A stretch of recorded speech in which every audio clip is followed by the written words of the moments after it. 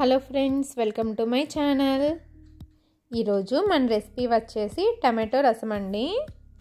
ఈ టమాటో రసాన్ని చాలా సింపుల్గా టేస్టీగా ఎలా తయారు చేసుకోవాలో చూద్దామండి.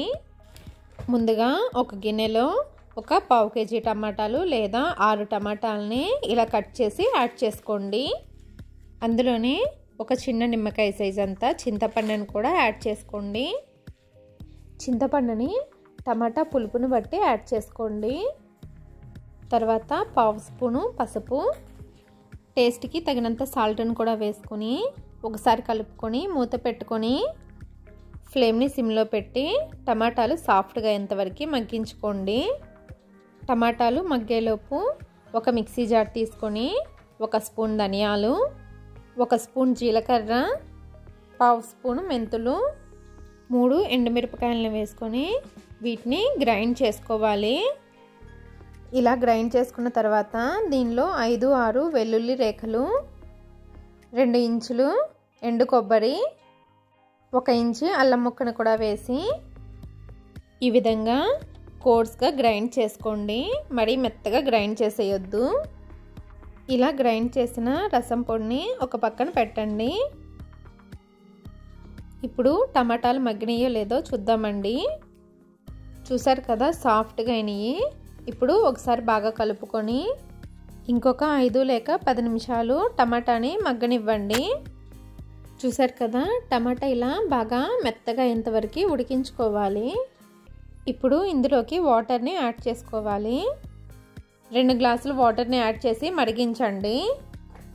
ఇవి మరుగుతున్న టైంలో పక్కన ఒక బాండీ పెట్టుకుని దానిలో ఒక టేబుల్ స్పూన్ ఆయిల్ని యాడ్ చేసి ఒక టీ స్పూన్ ఆవాలు ఒక టీ స్పూన్ జీలకర్ర ఒక ఎండుమిరపకాయ అలాగే సన్నగా కట్ చేసుకున్న ఒక ఉల్లిపాయ కొద్దిగా కరివేపాకును వేసుకొని ఉల్లిపాయ గోల్డెన్ కలర్ వచ్చే వరకు కలుపుకుంటూ ఫ్రై చేసుకోండి.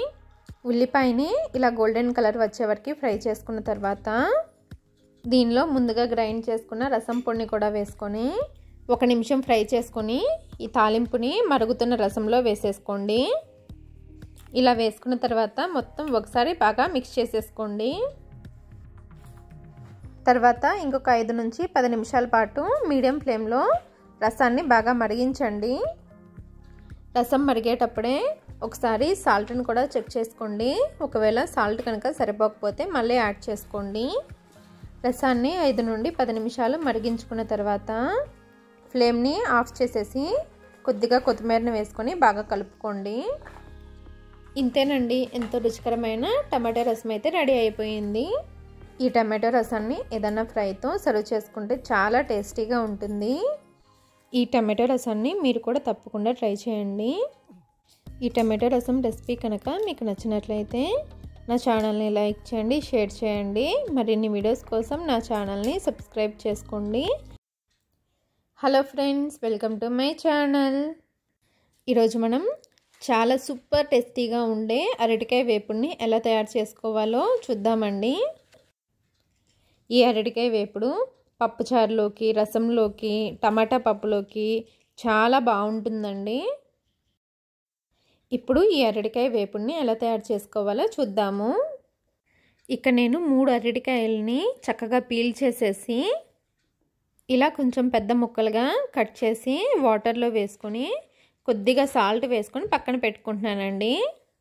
తర్వాత అరటికాయలని ఫ్రై చేసుకోవడానికి ఒక ప్యాన్ తీసుకొని దానిలో మూడు టేబుల్ స్పూన్ల వరకు ఆయిల్ని వేసుకోండి. ఈ ఆయిల్ హీట్ ఎక్కిన తర్వాత హాఫ్ టీ స్పూన్ జీలకర్రని వేసుకోండి. తర్వాత రెండు రెమ్మల వరకు కరివేపాకును వేసుకోండి. కరివేపాకుని కలుపుకుంటూ వేయించుకోండి. కరివేపాకు వేగిన తర్వాత పావు టీ స్పూన్ వరకు అల్లం వెల్లుల్లి పేస్ట్ని వేసుకోండి. ఈ అల్లం వెల్లుల్లి పేస్ట్ కూడా పచ్చివాసన పోయిన తర్వాత మనం ముందుగా రెడీ చేసి పెట్టుకున్న అరటికాయ ముక్కల్ని వేసేసుకోండి. అరటికాయ ముక్కల్ని కూడా వేసేసుకున్న తర్వాత దీనిలో మీ రుచికి తగినంత సాల్ట్ని కూడా వేసుకోండి. సాల్ట్ని కూడా వేసుకున్న తర్వాత ఫ్లేమ్ని మీడియంలో పెట్టుకొని అరటికాయల్ని కలుపుకుంటూ ఒక ఐదు నిమిషాలు అరటికాయల్ని వేయించుకోండి. అరటికాయలు ఐదు నిమిషాలు వేగిన తర్వాత దీనిలో ఒక పావు టీ స్పూన్ పసుపును వేసుకొని మళ్ళీ కలుపుకుంటూ రెండు లేదా మూడు నిమిషాలు వేయించుకోండి. రెండు మూడు నిమిషాలు వేయించుకున్న తర్వాత ఒక టీ స్పూన్ కారాన్ని వేసుకోండి. మీరు కారం ఎక్కువ తినేట్లుకుంటే కొంచెం ఎక్కువ వేసుకోండి.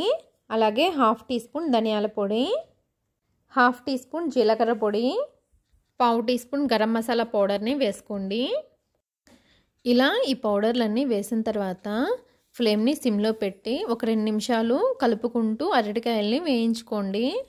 ఇలా పౌడర్లు వేసిన తర్వాత రెండు నిమిషాలు కలుపుకుంటూ వేయించుకుంటే ఈ పౌడర్లన్నీ అరటికాయలకు పట్టి అరటికాయ ముక్కలు టేస్ట్ చాలా బాగుంటుందండి. ఇంతేనండి. ఇలా రెండు నిమిషాలు కలుపుకుంటూ ఫ్రై చేసుకున్న తర్వాత ఫ్లేమ్ని ఆఫ్ చేసేసి సర్వ్ చేసేసుకోవడమేనండి. ఈ అరటికాయ ఫ్రై టేస్ట్ అయితే చాలా బాగుంటుందండి. ఒకసారి మీరు కూడా ట్రై చేయండి. ఓకే అండి ఈ రెసిపీ కనుక మీకు నచ్చినట్లయితే నా ఛానల్ని లైక్ చేయండి షేర్ చేయండి. మరిన్ని వీడియోస్ కోసం నా ఛానల్ని సబ్స్క్రైబ్ చేసుకోండి. Okay thank you.